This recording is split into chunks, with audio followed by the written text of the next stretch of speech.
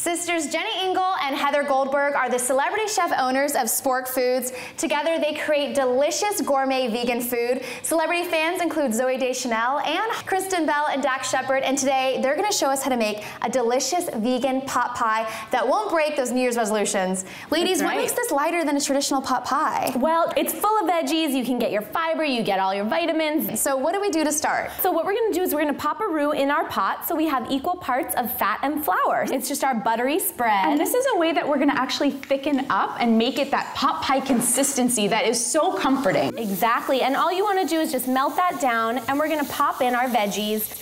So we're gonna put in onion and garlic. Parsnips are great if you have anything seasonal, just buy it at the farmer's market, pop it into your pot pie. Mm-hmm. And a little bit of veggie broth. And actually that roux that we put in in the beginning is gonna help thicken up this mixture. All right, what's next? Okay, well we're gonna make our biscuit topping, so that's what's next. A vegan biscuit topping? Yes. Okay, how are we doing that? We're actually making a vegan buttermilk. By taking this apple cider vinegar mm-hmm. and just adding it to some soy milk creamer. We've got some unbleached all-purpose flour, and we're gonna actually go ahead and cut in some vegan butter. So the trick is use cold ingredients. Cold fat will make a fluffy biscuit. So you just wanna kinda chop it up, then we can go ahead and pop in our butter. And you're gonna see that it has these little chunks in it, and that is that curdled buttermilk. Now, are we gonna roll these out? you don't have to roll No. them. The great part is you just pop it on top. And Oh, you're done. okay. So we're just creating a little biscuit blanket. Now we're ready to bake them? Yes, exactly. We're just gonna pop them in the oven, 400, 25 to 35 minutes. I cannot wait. These pot pies smell so good. Are they, are ready? done. Let's do it.